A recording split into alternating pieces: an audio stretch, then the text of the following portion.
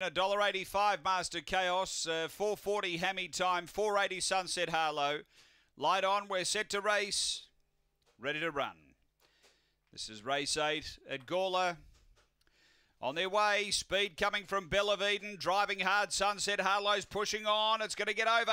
So Sunset Harlow got away and pinched three or four through the pen the first time. Next is Select Mick as the leader, six in front now. Then Hammy Time and a gap away came uh, Master Chaos, Belle of Eden. And back at the tail, McIver Neville. They're off the back and Sunset Harlow out by five. Hammy Time doing the chasing. Then Select Mick up to the turn. Sunset Harlow. It's getting tight, but it's got a break. Clear of Hammy Time and Sunset. Sunset Harlow. Won it by two and a half to three over Hammy Time. Third Select Mick, I reckon, just in front of Master Chaos. Uh, then came McIver Neville and Belle of Eden. The run here is around 31 seconds after race number eight. Really nice uh, early section there from Sunset Harlow.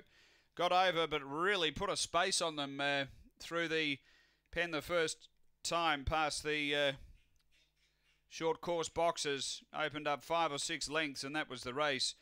Uh, numbers are 4, 8, 1,